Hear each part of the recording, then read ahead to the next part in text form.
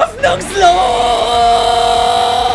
Wir müssen für alle Zeiten verflucht sein. Ein Chaos nach den anderen. Und wir haben die Gottesmappe sowas Haben von Gott gehört. Es muss daran liegen, dass ihr euch gegenseitig mit Essen schikaniert habt. Kein Wunder, dass wir verflucht sind. Leo, bitte beruhige dich erstmal. Divine Punishment!